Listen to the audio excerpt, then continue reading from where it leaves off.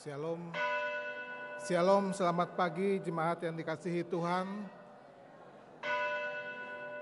Shalom. Selamat pagi jemaat yang dikasihi Tuhan.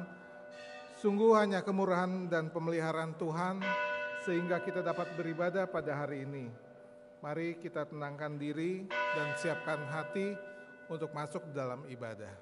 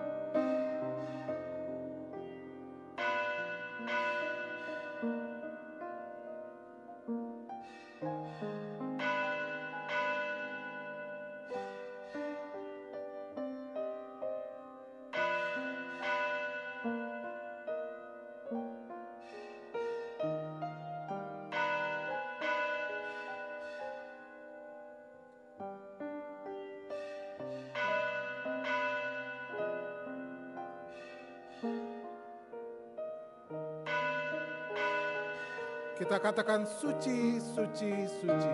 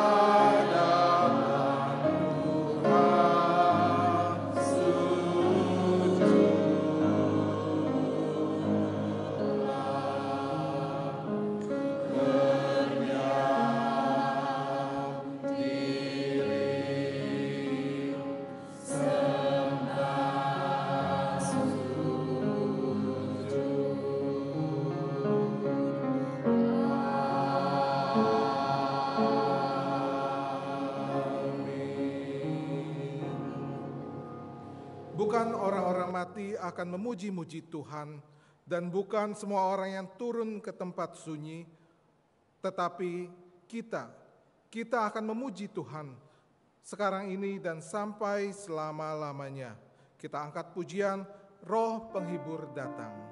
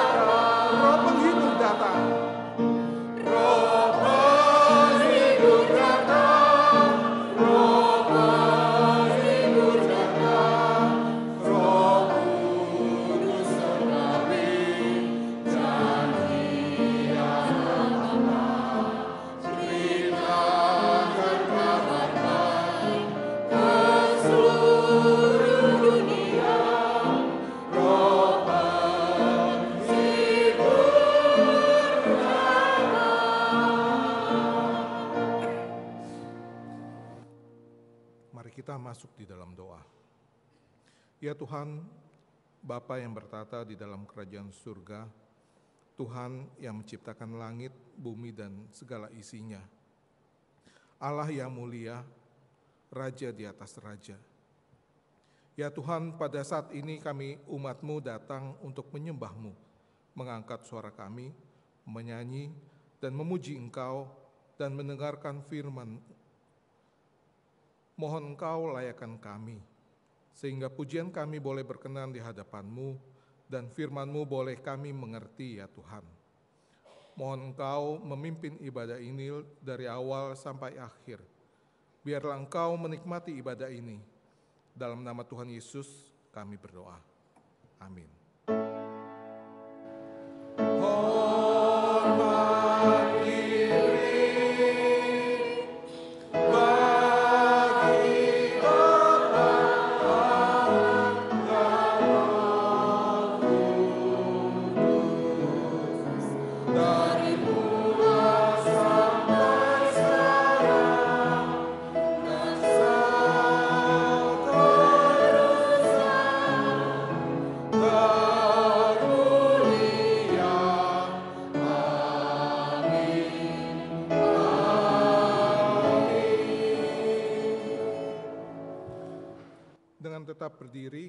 Membacakan firman Tuhan yang diambil dari Yoel pasal 2 ayat 28 sampai dengan 32. Kita akan bacakan bersama-sama. Yoel pasal 2 ayat 28. Kemudian daripada itu akan terjadi bahwa aku akan mencurahkan rohku ke atas semua manusia. Maka anak-anakmu laki-laki dan perempuan akan berbuat Orang-orangmu yang tua akan mendapat mimpi, teruna-terunamu akan mendapat penglihatan-penglihatan. Juga ke atas hamba-hambamu laki-laki dan perempuan akan kucurahkan rohku pada hari-hari itu. Aku akan mengadakan mujizat-mujizat di langit dan di bumi, darah dan api dan gumpalan-gumpalan asap. Matahari akan berubah menjadi gelap gulita, dan bulan menjadi darah sebelum datangnya hari Tuhan yang hebat dan dahsyat itu. Dan barang siapa yang berseru kepada nama Tuhan akan diselamatkan. Sebab di Gunung Sion dan Yerusalem akan ada keselamatan. Seperti yang telah difirmankan Tuhan. Dan setiap orang yang dipanggil Tuhan akan termasuk orang-orang yang terlepas. Berbahagialah orang yang mendengarkan firman Tuhan merenungkannya dan melakukannya dalam kehidupannya. Jemaat dipersilakan untuk duduk.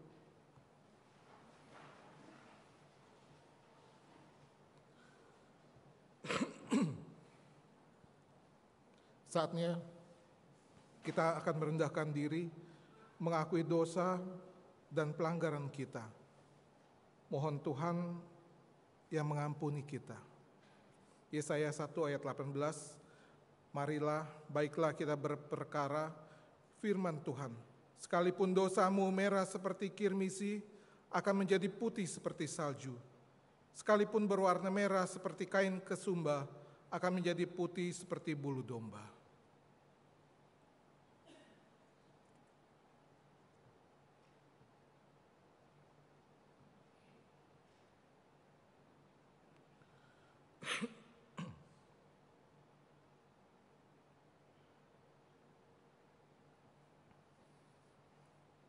Ya Tuhan, tidak ada satu hal pun yang dapat kami sembunyikan di hadapan-Mu.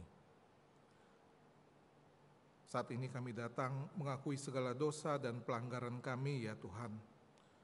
Mohon pengampunan-Mu, mohon belas kasih-Mu.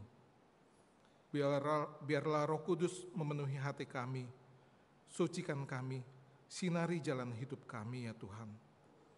Sehingga hidup kami boleh berkenan di hadapan-Mu, dan hati kami boleh setia pada jalan-Mu. Dalam nama Tuhan Yesus, kami telah berdoa. Amin. Kita angkat pujian, Roh Kudus penuhi aku.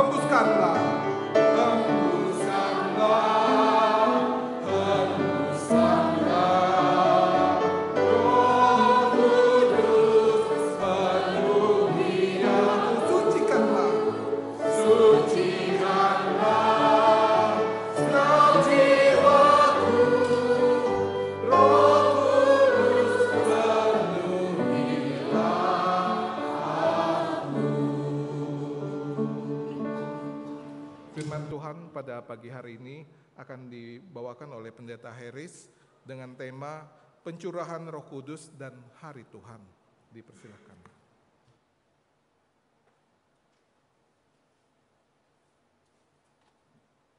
Ah, berdoa.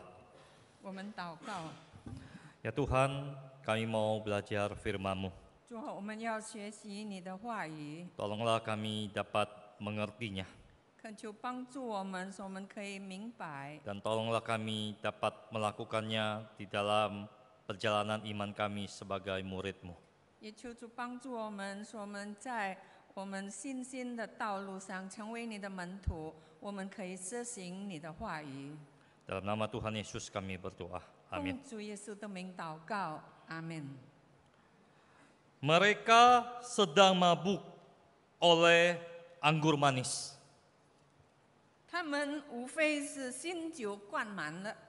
Mereka sedang mabuk oleh anggur manis. 他们无非是新酒灌满了。 Itulah tuduhan dari orang banyak kepada murid-murid Kristus di awal kisah para rasul. 这是在《使徒行传》开始的时候所记载的，众人讥诮基督的门徒说的。 Kisah para rasul pasal 2 mencatat bahwa pada hari itu banyak orang sedang berkumpul di Yerusalem. 《使徒行传》第二章记载，当时在耶路撒冷有很多人聚集， Mereka pada saat itu sedang merayakan hari Pentakostanya orang Yahudi. 他们当时正在纪念犹太人的五旬节， Dan di hari itu 当天 dipakai oleh Tuhan Yesus untuk menggenapi janjinya. Eh, eh, Yaitu Tuhan Yesus akan mengutus seorang penolong untuk murid-muridnya.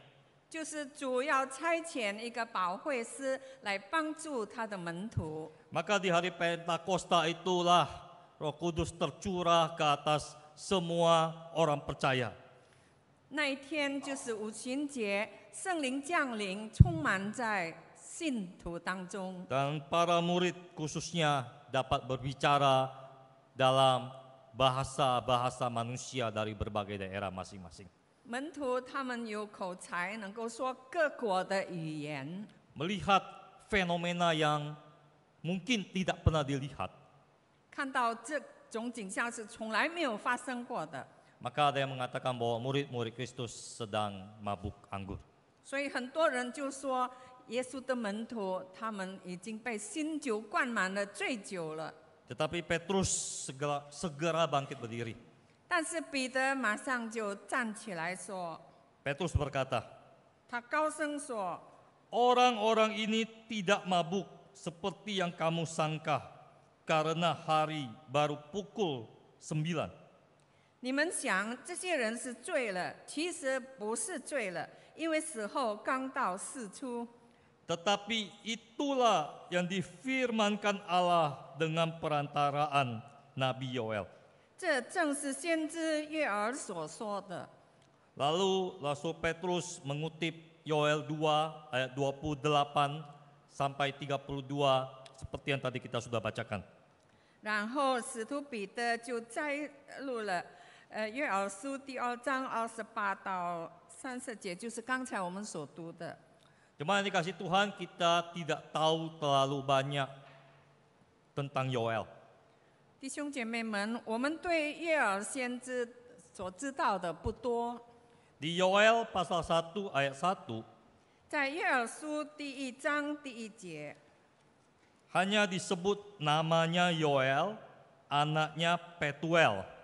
这里就只有提到耶和华的话临到比图尔的儿子约珥。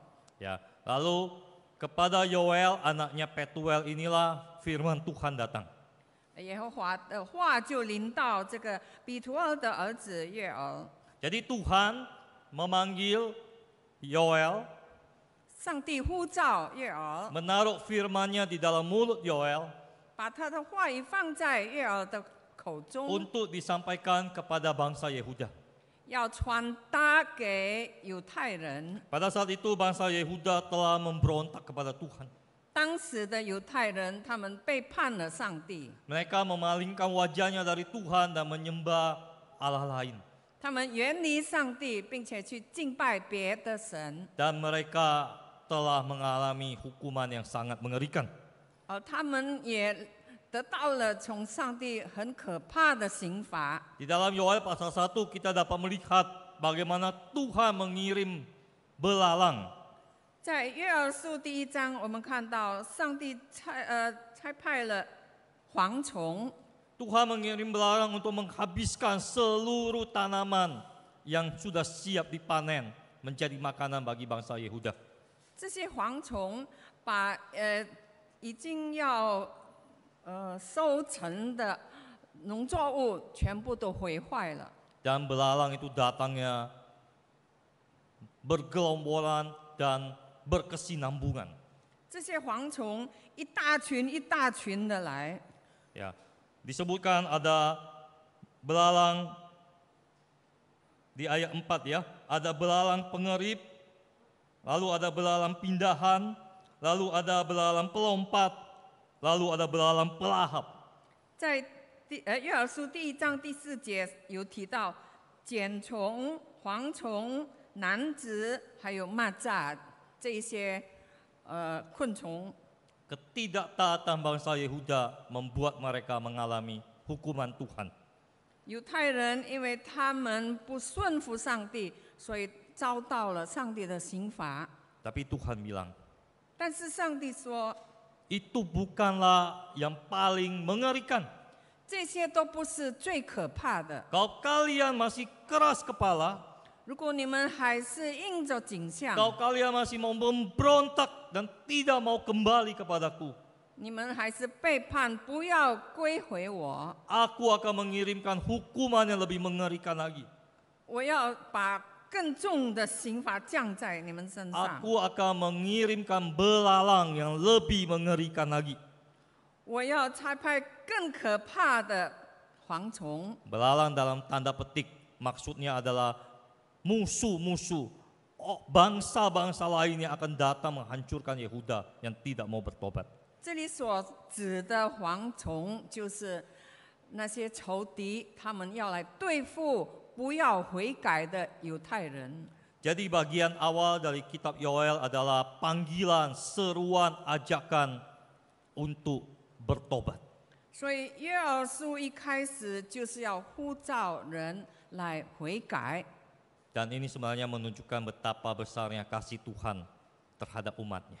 其实这也显明了上帝呃 非常浩大无比的爱对他的百姓。Karena sebelum Tuhan menghukum, Tuhan sudah kasih peringatan terlebih dahulu. 因为在他还没有降下刑罚之前，他已经警戒了多次多方的警戒人。Dan kasih Tuhan nampak semakin luar biasa di bagian akhir daripada kitab Yoel ini. 在约珥书的结束，我们看到上帝无比的慈恩惠慈爱，Karena Tuhan berjanji 因为上帝应许，kalau bangsa Yehuda sungguh-sungguh bertobat, 如果犹太人他们真正的悔改，kalau bangsa Yehuda sungguh-sungguh menangis, berubah dan kembali kepada Tuhan, 如果犹太人他们真的愿意诚心诚意的悔改、痛哭 归回上帝， Tuhan akan memulihkan mereka. 上帝要使他们复原， Tuhan akan memberkati mereka kembali. 上帝要再一次赐福给他们。 Tanaman-tanaman mereka yang sudah dihabiskan oleh belalang-belalang yang mengerikan itu akan dipulihkan kembali. 那些已经被蝗虫破坏的农作物、植物，都要再重新生长。 Di Yoel 2 ayat 24 sampai 25 berbunyi demikian. 约珥书第二章二十四到二十五节这样说： Tempat-tempat pengirikan menjadi penuh dengan gandum. Tempat pemerasan kelimpahan anggur dan minyak. Aku akan memulihkan kepadamu tahun-tahun yang hasilnya dimakan habis oleh belalang pindahan, belalang pelompat, belalang pelahap, dan belalang pengerip. Tentaraku yang besar yang kukirim ke antara kamu. 何尝必满了麦子，酒榨鱼有榨，必有新酒和有饮意。我打发到你们中间的大军队，就是蝗虫、男子、蚂蚱、茧虫，那些年所吃的，我要补还你们。pemulihan secara fisik, secara jasmani akan terjadi ketika seseorang yang sudah berpaling daripada Tuhan kembali kepadanya. 当一个人悔改归向主的时候，他的身体、他的肉体要遭遇到复原， Dan ada hal yang lebih menakjubkan lagi. 还有更使人惊讶的， Tuhan bukan hanya menjanjikan pemulihan secara fisik. 上帝不单应许要恢复我们的肉体， Di Yoel 2 ayat 28 29在约珥书第二章二十八、二十九节， itu adalah sebuah pemulihan secara spiritual, secara rohani. 就是灵的复原。 Orang yang mau sungguh-sungguh datang kepada Tuhan, 一个人真心诚意，愿意来到上帝面前， Tuhan bilang ke atas orang itu aku akan mencurahkan rohku. 上帝说：“我要将我的灵浇灌在他身上。 Dan di ayat 32 ”在三十二节， Tuhan berkata orang itu pasti akan mendapatkan keselamatan. 上帝说：“凡求告耶和华名的，就必得救。 Jemaat yang dikasih Tuhan, janji atau nubuatan yang Tuhan taruh di mulut Nabi Yoel ini ” 弟兄姐妹们，上帝的应许借着呃约珥的口说出来， mulai terwujud penggenapannya sejak kisah para rasul pasal 2. 自从《使徒行传》第二章，我们看到这些事都成就了。 Sejak kisah para rasul pasal 2, semua orang yang sungguh-sungguh bertobat, sungguh-sungguh mau datang dan percaya kepada Yesus Kristus, 在《使徒行传》第二章就记载，如果一个人他真的愿意来到上帝面前，真心诚意的信靠耶稣基督的话，ke atas orang itu Tuhan curahkan Roh Kudus. 上帝将他的灵浇灌在这个人的身上，Roh Kudus akan masuk dan tinggal tetap di dalam diri orang-orang yang sungguh-sungguh percaya dan menerima Yesus Kristus sebagai Tuhan dan Juru Selamat. 一个人他真的敞开他的心，接受耶稣基督成为他的救主的话，圣灵会内住在他的心里。 Dan sejak saat itu orang itu menjadi milik Kristus selama-lamanya. 从那个时候开始，这个人就成为属于耶稣基督的人，直到永远。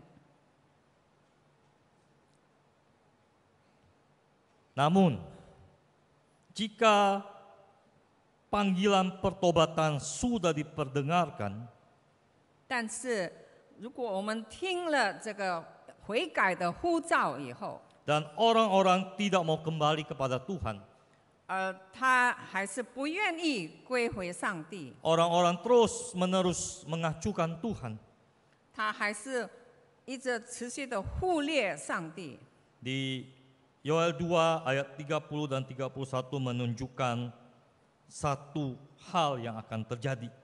在约珥书第二章三四和三十一节，就告诉我们将要发生的事。 Di ayat 30 dikatakan, Aku akan mengadakan mujizat di langit dan di bumi. 三十节说，在天上地下，我要显出启示。 Mujizatnya seperti apa? 什么样的启示呢？ Mujizatnya ada darah, ada api, ada asap. 有血，有火，有烟柱。 Coba kita bayangkan. 我们可以想象 Di 一下， mana-mana ada darah, ada api, ada asap. 到处都有血，有火，有烟柱。 Itu mujizat seperti apa? 这是什么样的神迹呢？ Lalu dikatakan matahari akan menjadi gelap gulita 还有说，日头要变为黑暗， dan bulan menjadi darah.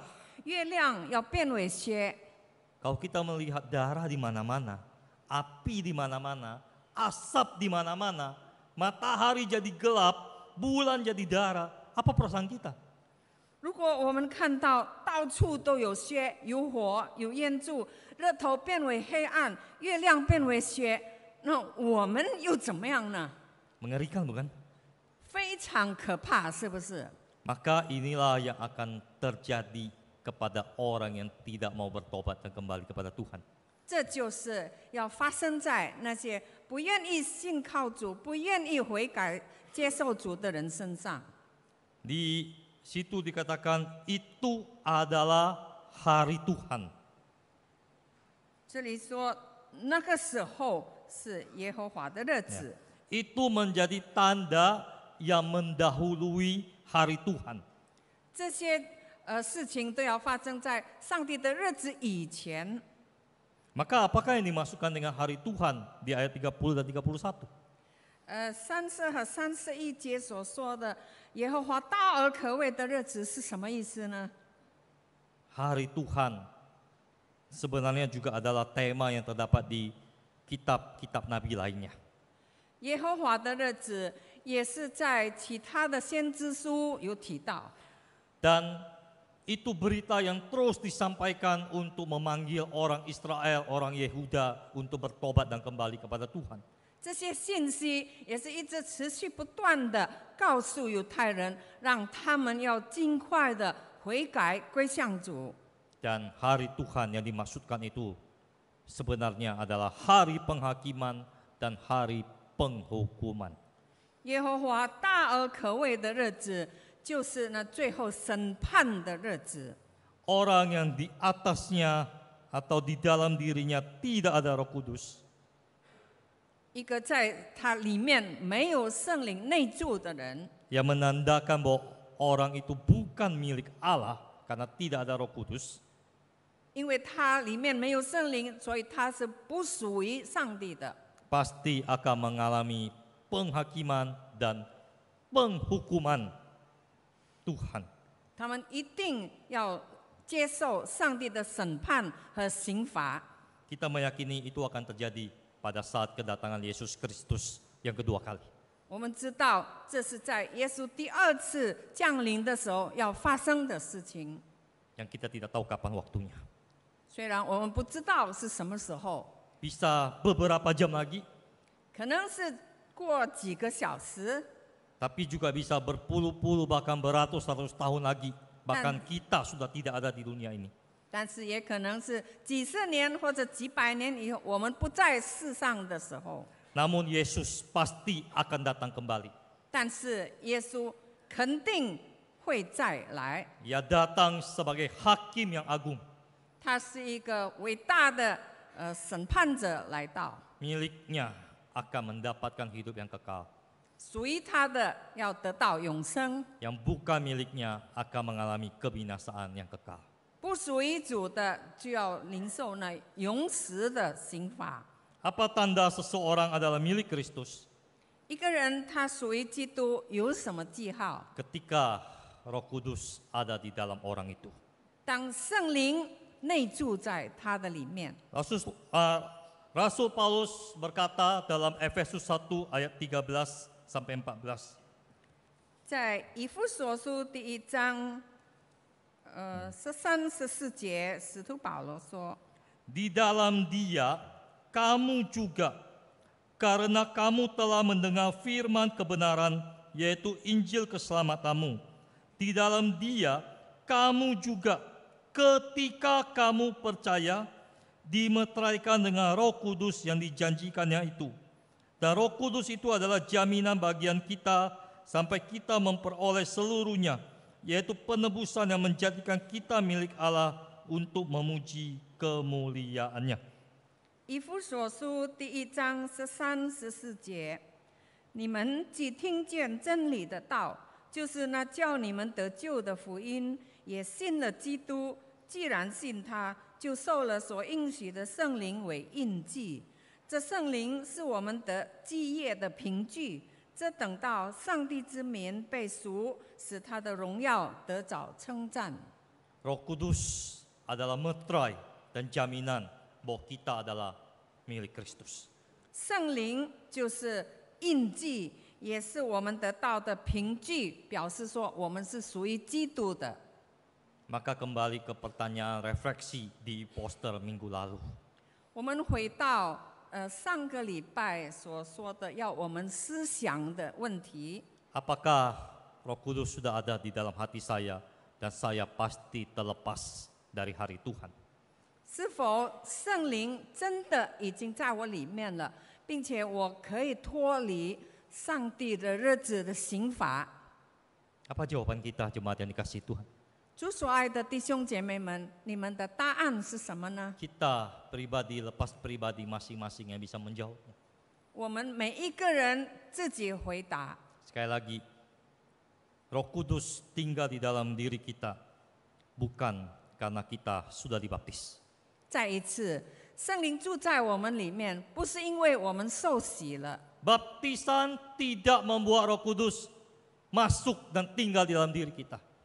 受洗礼并不表示圣灵在我们里面。Roh Kudus tinggal di dalam diri kita bukan karena kita aktif melayani seberapa banyak pun. 圣灵在我住在我们里面，不是我们有多热心侍奉，Pelayanan tidak membuat Roh Kudus masuk dan tinggal di dalam diri kita. 我们的侍奉不造成圣灵住在我们里面。Ak- aktif beribadah 8 hari seminggu, 26 jam sehari. 我们热心的来做礼拜，甚至一个礼拜八天，一天二十六小时， Yang tidak ada bukan? 没有这样的事。 Itu pun tidak membuat Roh Kudus masuk dan tinggal di dalam hati kita. 这样也不能够造成圣灵住在我们里面。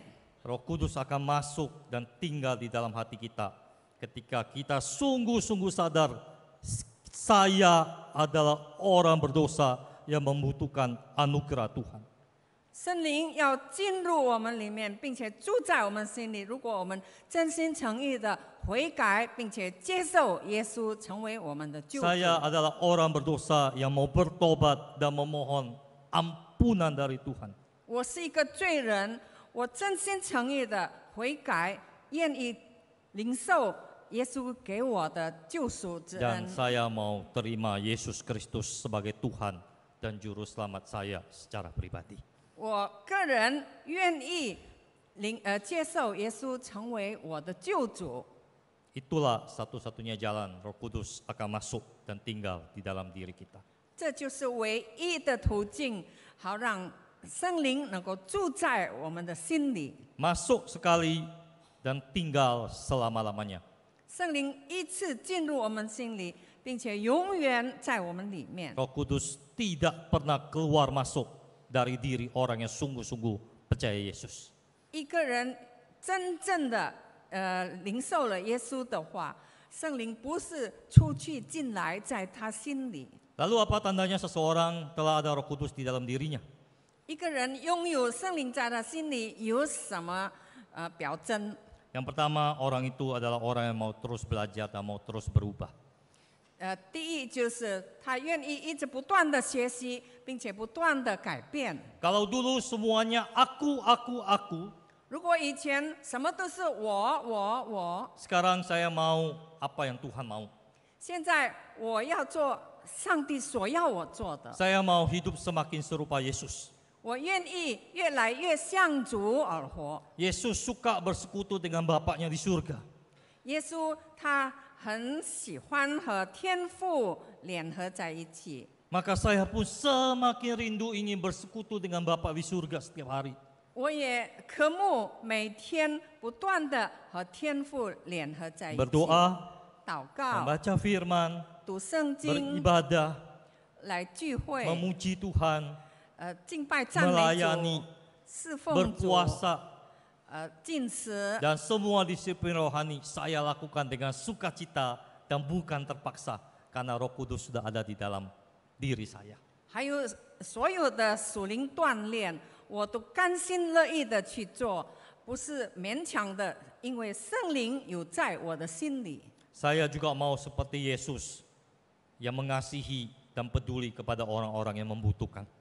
我也愿意像主耶稣一样，呃，关怀那些有需要的人， Bukan hanya masalah kebutuhan jasmani, tapi yang terutama kebutuhan rohaninya. 不单单是肉体的需要，但是更重要的是是灵命的需要。 Saya juga mau seperti Yesus yang tidak membiarkan dosa, tapi berani menegur kalau ada dosa yang muncul.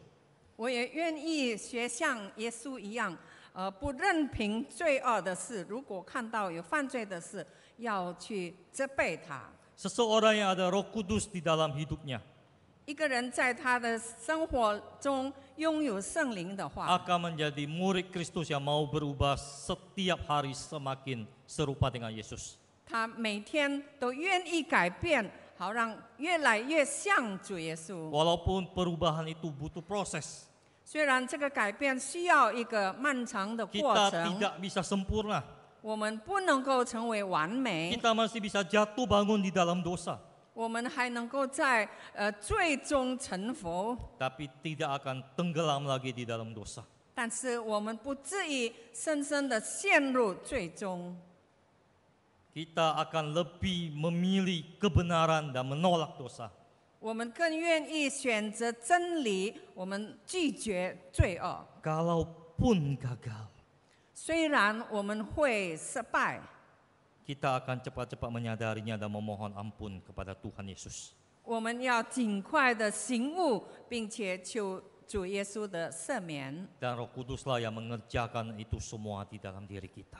圣灵要在我们里面做成这一切的 Memberi 功， kerinduan untuk semakin serupa Yesus. 赐给我们有科目，使我们愿意更像耶稣。 Menegur, ah, mengingatkan ketika dosa datang menggoda untuk segera menjauh dan meninggalkannya. 提醒督责教导我们，当呃犯罪的时候，我们要尽快的悔改，并且远离罪。 Menegur dan memanggil untuk segera bertobat. 督责教导提醒我们要 尽快的悔改。 Hal yang kedua yang menunjukkan bahwa kita sudah ada Roh Kudus di dalam hidup kita. 第二点告诉我们，我们里面拥有圣灵。 Kalau yang pertama adalah murid yang mau berubah, 第一就是愿意改变的门徒， maka yang kedua adalah murid yang mau berbuah. 第二就是能够结出果子来的门徒。 Kita mau mempersembahkan seluruh milik kita, hidup kita, semuanya bagi Kristus dan pekerjaannya untuk kemuliaannya.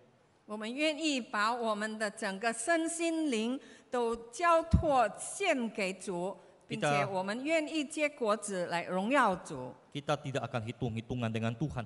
我们和上帝不会斤斤计较， Kita tidak akan siapkan pelayanan kita dan semua yang kita mau berikan asal-asalan untuk Tuhan. 我们侍奉的时候的态度不会是马马虎虎、随随便便。Dan yang terpenting, 还有更重要的是，ketika kita menyadari satu-satunya cara seseorang bisa selamat dari hari penghukuman Tuhan adalah menjadi milik Yesus, 当我们醒悟到我们唯一可能呃呃脱离这个最后上帝日子的审判，就是要成为 基督的门徒， maka kita juga akan rindu untuk memberitahukan jalan ini kepada orang yang belum menemukan.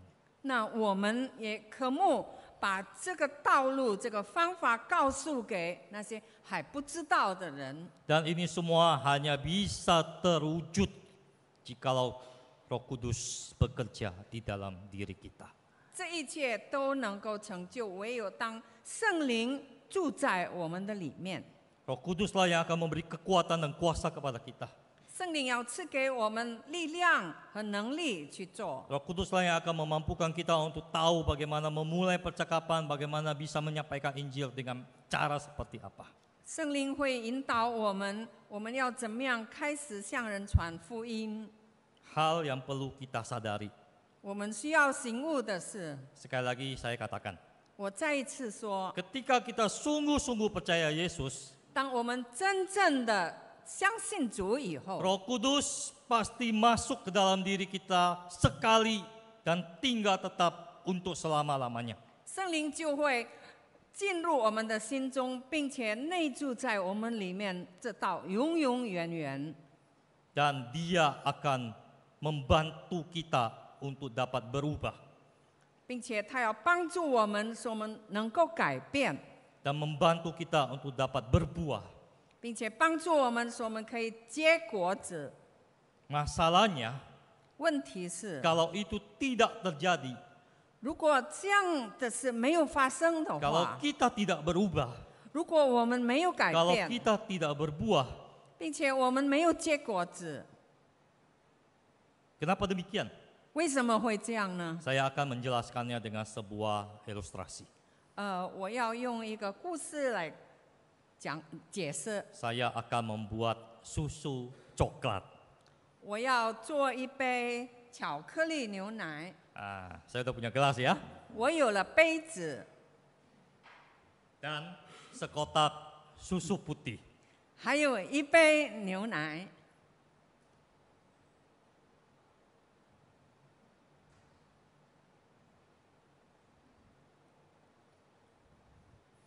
Nah, gimana untuk menjadikan dia susu coklat? 那怎么样让这杯白牛奶会变成巧克力牛奶呢？ Tentu ditambah kental manis coklat gitu ya. 当然就要加上这个巧克力味的牛奶。 Ukurannya sesuai selera masing-masing. 那你要加多少，就看你自己的口味。 Nah, jemaat yang dikasih Tuhan, inilah susu coklat.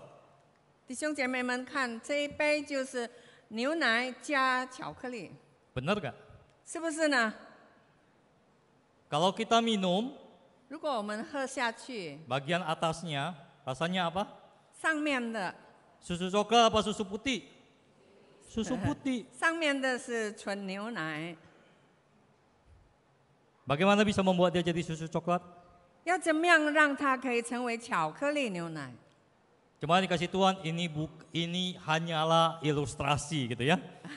这只是一个呃描绘， Dan Alkitab tidak pernah menggambarkan Roh Kudus seperti susu coklat. 呃，圣经从来没有说圣灵像是巧克力牛奶， Tapi 但是 Roh Kudus masuk ke dalam hati kita. 圣灵进入我们心里， Kita bisa tidak mau dia ngapa-ngapain. Ya. Kita bisa tidak mau Roh Kudus ngapa-ngapain dalam hidup kita. 我们可以不愿意不要圣灵在我们心里做任何的 Saya 工 mau seperti Yesus. 我愿意学像耶稣， Saya mau sungguh-sungguh hidup di dalam firman Tuhan. 我愿意真正的活在上帝的话语 Saya mau 当中， melayani dengan baik dan maksimal. 我愿意尽我所能的 Saya 侍 mau 奉， membawa jiwa kepada Kristus. 我愿意带领人归向主。 Dan saya tahu itu semua bisa terjadi kalau Roh Kudus bekerja dan memampukan saya untuk melakukannya. 我知道我能够做到这一切，如果圣灵在我心里工作，使我可以。 Tapi saya tidak mau Roh Kudus Nangli. bekerja di dalam diri saya. 但是我不愿意圣灵在我里面工作。 Roh Kudus diam-diam aja seperti su- cok, apa kental manis coklat ini di bawah. 那圣灵就好像这个巧克力沉在下面， Maka ini selamanya tetaplah susu putih bukan? 那上面的仍然就是纯牛奶。 Maka selamanya saya tetaplah takut memberitakan Injil. 那我永远都是不敢，我怕去传福音， Maka selamanya saya tetaplah bisa jatuh ke dalam dosa terus dan terus. 我仍然会一直不断的跌入罪里。Maka selamanya saya lebih suka melakukan hal lain daripada dekat dengan Bapa di surga. 我仍然更喜欢做其他的事，比起亲近上帝，Karena ki- karena saya tidak membiarkan Roh Kudus bekerja. 因为我没有让圣灵在我心里工作。Ini bisa jadi susu coklat ketika diaduk. 这一杯牛奶会成为巧克力牛奶，如果我们搅拌它。 Ketika kita mengizinkan kental manis coklat itu men- bercampur menjadi satu dan bahkan mungkin menguasai susu putih itu. 我们愿意让这个巧克力工作搅拌，并且与纯牛奶混在一起。 Kalau kita mau jadi murid Kristus yang berubah dan berbuah, 如果我们愿意做耶稣的门徒，改变并且结果子， jangan pernah ada area di dalam kehidupan kita yang kita tidak mau Roh Kudus campur. 不要让我们的生命里头有任何一个部分，我们不愿意圣灵来插手的。 Serahkan semua 我们把一切都交托，dan mintalah tolong Ia memampukan kita 我们求圣灵帮助我们，给我们力量，supaya kita dapat menjadi murid Kristus yang berubah 使 dan 我们 berbuah. 们可以成为真正的改变并且结果子的基督门徒。Amin. 阿门。应该的米弄。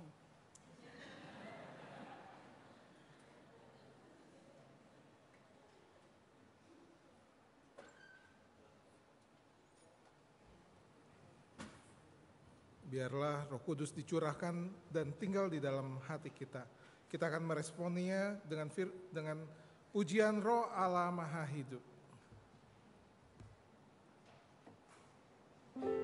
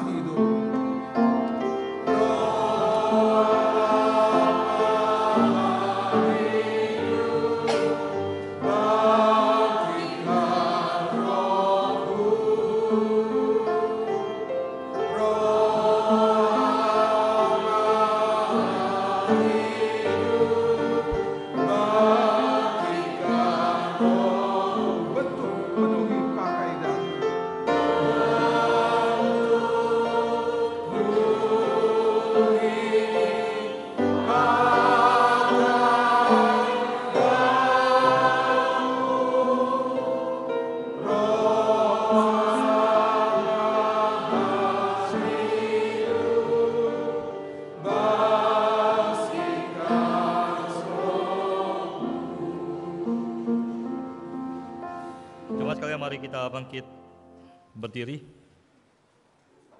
Mari kita berdoa syafaat terlebih dahulu.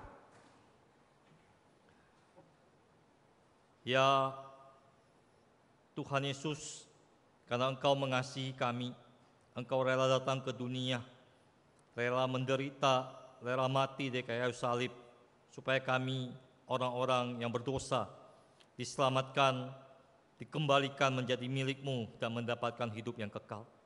Engkau memberikan rohmu menjadi metrai, menjadi jaminan di dalam diri kami bahwa kami adalah milikmu. Dan engkau sudah masuk dan tinggal tetap di dalam hati kami ya Allah Roh Kudus. Maka saat ini kami semua datang kepadamu, memohon Tuhan boleh mengampuni kami. Kau selama ini masih ada area-area di dalam kehidupan kami yang kami tidak izinkan Engkau Allah Roh Kudus untuk ikut campur. Kami menganggap kami bisa sendiri dan kami tidak membutuhkan campur tangan Allah Roh Kudus. Biarlah Tuhan Engkau yang boleh mengampuni kami. Dan biarlah Tuhan sendiri kami mau menyerahkan diri kami seutuhnya ke dalam tanganmu. Bekerjalah ya Allah Roh Kudus, kuasailah setiap area hidup kami dan mampukanlah kami menjadi murid-murid Kristus yang semakin serupa dengan Engkau, yang dapat menghasilkan buah untuk kemuliaan namamu, dan yang berani menceritakan kisah kasih-Mu yang begitu besar kepada dunia yang sangat membutuhkannya ya Tuhan. Apa pun latar belakang kami, siapa pun kami Tuhan, tolonglah kami, bentuklah kami, pakailah kami seperti yang Engkau kehendaki ya Tuhan. Pada saat ini hambamu juga berdoa, berdoa bagi kami semua sebagai orang tua, sebagai kakek nenek. Kami mau berdoa bila Tuhan tolong kami boleh juga peduli kepada kehidupan kerohanian anak-anak kami, cucu-cucu kami ya Tuhan. Dan jikalau di akhir Juni nanti Komisi Anak GPMBRI Kemurnian akan mengadakan pekan Alkitab liburan. Bila Tuhan tolong kami sebagai orang tua dapat mendorong anak-anak kami dan mendaftarkan mereka untuk mengikuti pekan Alkitab liburan ini. Kami sebagai kakek nenek dengan izin daripada papa mama dari cucu kami juga kiranya dapat mendorong mereka mengikuti PAL ini ya Tuhan.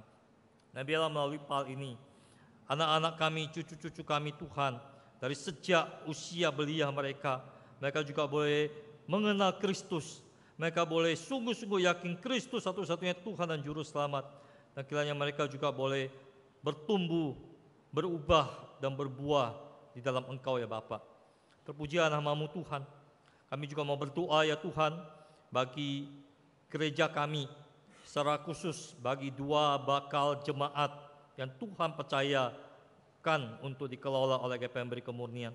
Kami serahkan pertumbuhan, perkembangan daripada GPMBRI Bajem Dadap yang saat ini digembalakan oleh pendeta Jamie Sumadi dan Bajem Reni Jaya yang digembalakan oleh Guru Injil Turianto. Tuhan yang tolong, Tuhan yang pimpin.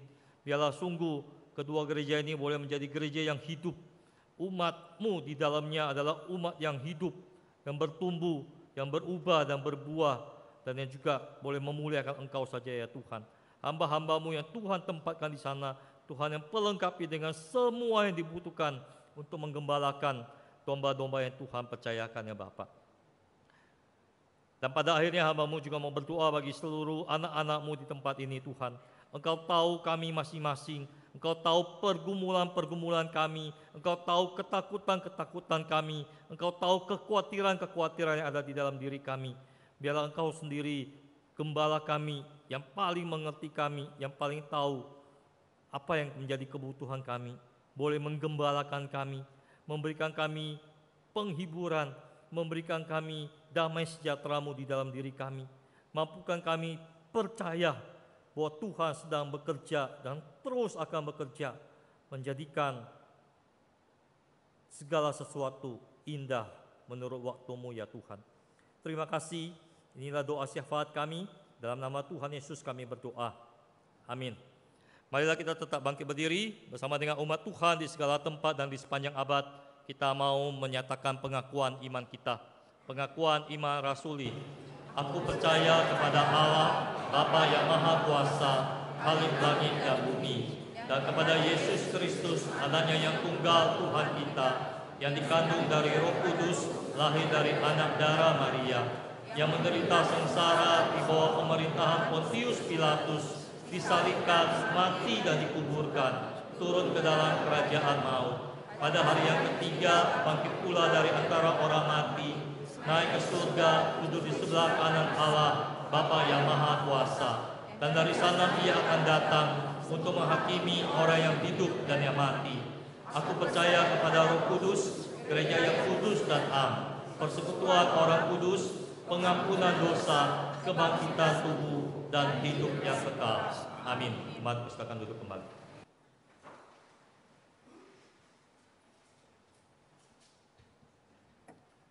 Saatnya kita akan memberikan persembahan sebagai ucapan syukur atas kemurahan dan pemeliharaan Tuhan di dalam kehidupan kita. Kita angkat pujian dari KPPK nomor 247. Limpahlah pialamu.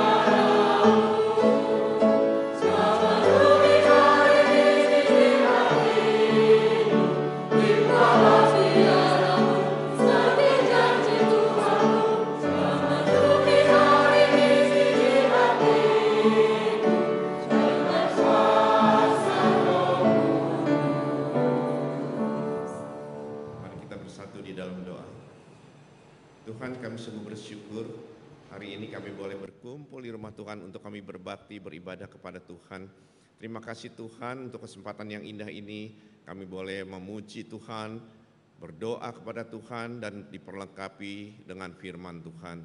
Biarlah kiranya firman Tuhan boleh terus tinggal di dalam hati kami dan men- menjadi pedoman hidup kami. Saat ini kami juga bersyukur Tuhan, kami boleh mempunyai kesempatan yang indah untuk kami boleh membawa persembahan kami kepada Tuhan. Biarlah Tuhan berkati setiap kami, baik yang sudah memberikan maupun yang akan memberikannya nanti.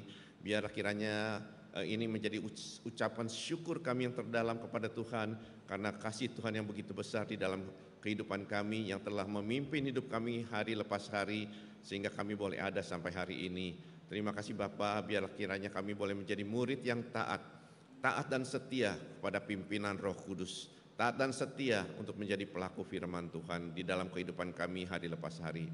Di dalam nama Tuhan Yesus Kristus kami berdoa dan mengucap syukur. Haleluya. Amin.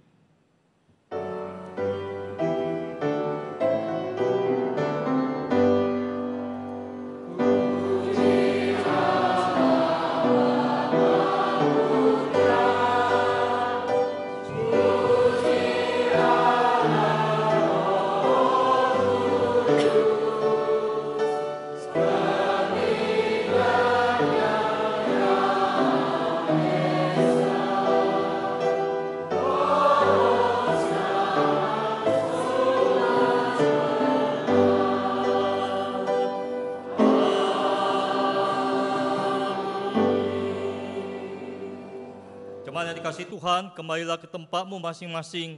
Jadilah murid-murid Kristus yang mau berubah dan berbuah untuk kemuliaannya. Dan terimalah berkat Tuhan.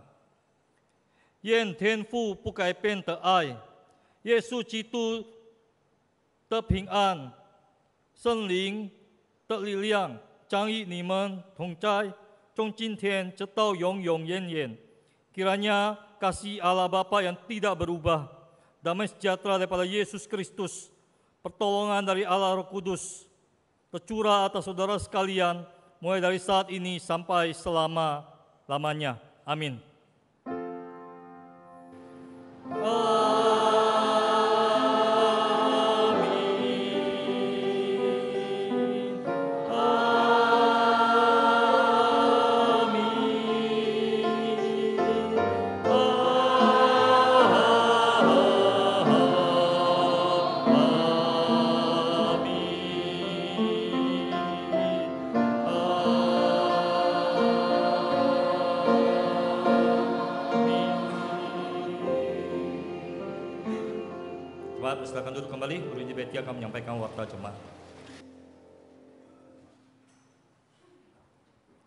Shalom, saudara-saudari dalam Kristus. Ya, pada pagi hari ini ada dua berita gembira yang akan kita dengar ya. Yang pertama di tengah-tengah kita hadir saudari Audrey. Audrey adalah cucu dari Ibu Elita Tan. Silakan berdiri Audrey. Ya, ya, selamat datang kembali kepada Audrey ya. Audrey waktu sekolah minggu, sekolah minggunya di Gepembri Kemurnian ya. Mungkin di sini masih ada lause-lausenya yang masih ingat atau gimana gitu ya. Ya, kita bersyukur. Dan kita mau mengucapkan selamat dari majelis dan jemaat GPM Kemurnian kepada guru Injil Hendrawan Wijoyo yang telah menyelesaikan studi pasca sarjananya di Amerika dan telah diwisuda pada hari Sabtu 11 Mei yang lalu ya. Tuhan memberkati terus uh, studi daripada uh, guru Injil Hendrawan. Dan kita lihat e-poster minggu depan kita akan belajar pentingnya menggunakan kesempatan yang ada terutama terkait dengan menjadikan segala bangsa murid Kristus. Kita di dalam sepanjang minggu ini kita mau menyiapkan hati kita dengan merenungkan dua pertanyaan. Yang pertama, kapankah kesempatan terbaik untuk bersaksi? Kapan kesempatan yang terbaik untuk bersaksi? Kedua, dapatkah saya mengambil kesempatan untuk bersaksi di tengah-tengah kesulitan hidup ini? Dapatkah saya mengambil kesempatan untuk bersaksi di tengah kesulitan hidup ini? Kiranya ini menjadi perenungan kita dalam seminggu ini dan kita akan mendengarkan apa yang firman Tuhan sampaikan melalui guru Injil Yemima pada minggu yang akan datang. Demikian uh, iwarta kita pada hari ini. Kita akan berdoa teduh mengakhiri ibadah pada hari ini dan kita ketemu lagi pada minggu yang akan datang.